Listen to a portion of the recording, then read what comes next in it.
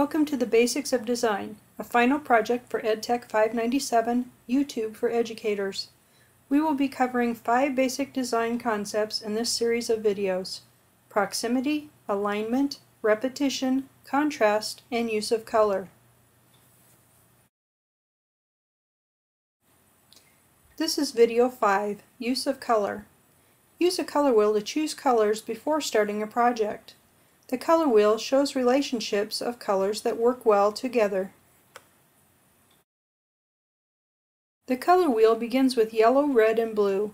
These are called the primary colors because they are the only colors you cannot create. You can mix blue and yellow to make green, or blue and red to make purple, but there is no way to mix pure yellow, red, or blue from other colors. The primary colors are spaced evenly around the color wheel. Secondary colors are the colors that are created by combining two primary colors. A secondary color appears in the color wheel between the two primary colors used to make it.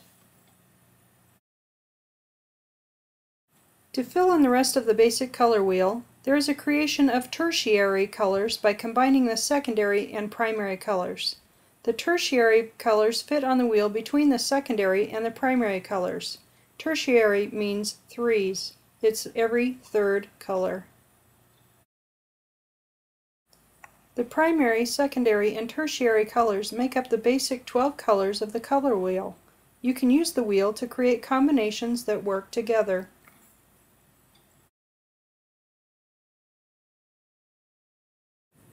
Colors directly across from each other on the color wheel are called complements. They are the exact opposites of each other. Some of the combinations look a little strange.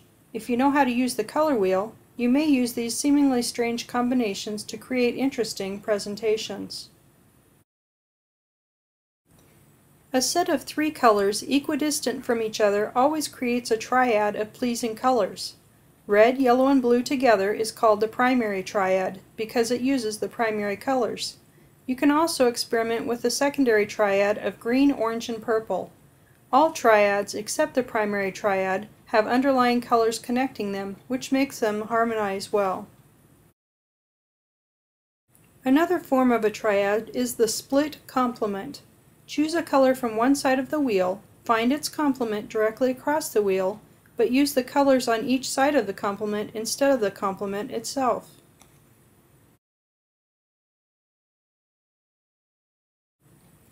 An analogous combination is composed of those colors that are next to each other on the wheel.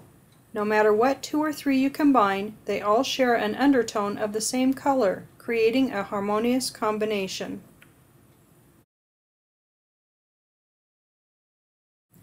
The basic color wheel shows the pure hue, or color. The color wheel can be expanded by adding black or white to the various hues. The pure color is the hue. Add black to a hue to create a shade.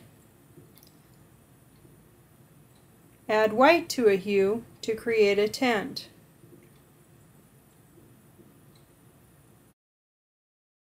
The real color wheel shows shades and tints that can be created. If your software program allows you to create your own colors, just add black to a color to create a shade. To make a tint, use the tint slider the application provides. A monochromatic combination is composed of one hue with any number of its corresponding tints and shades.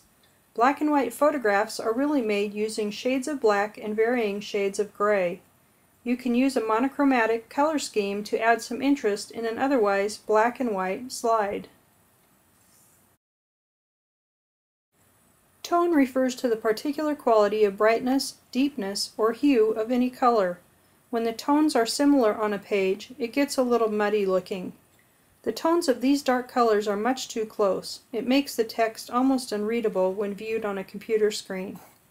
The contrast is much better in the second slide. The contrast is a result of differences in tone.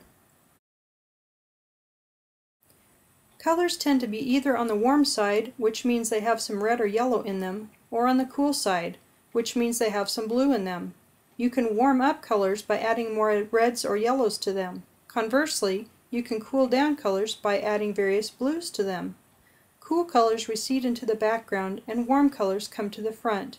You can use, and sometimes you have to use, more of a cool color to make an impact or to contrast effectively.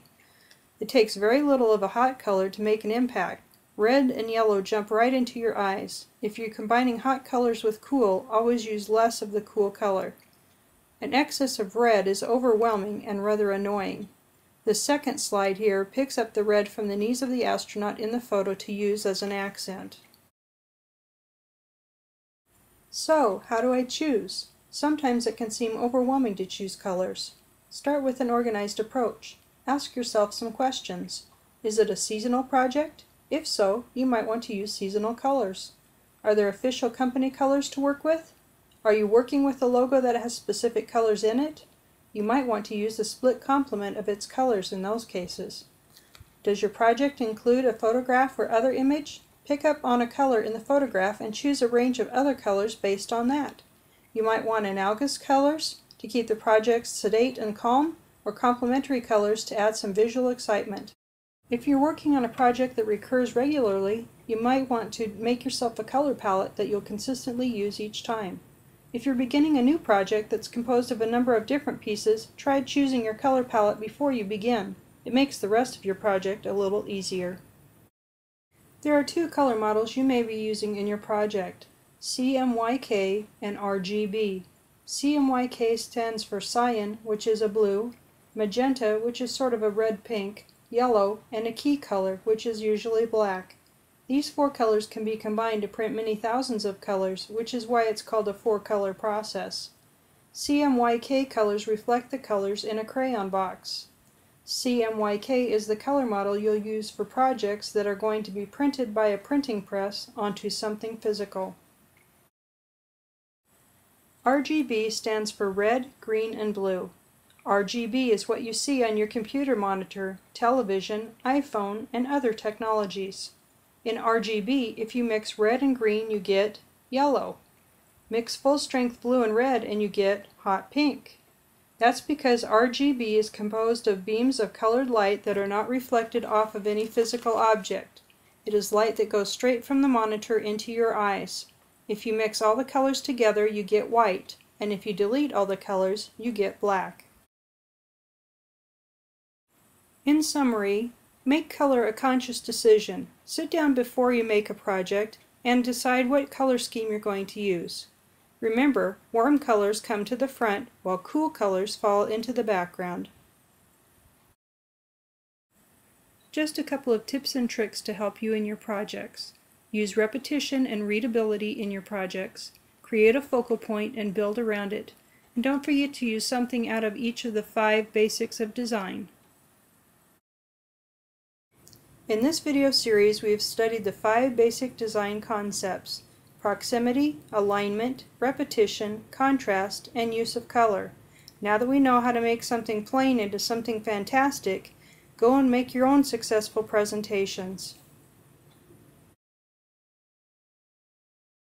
This has been a 2008 Tigger production.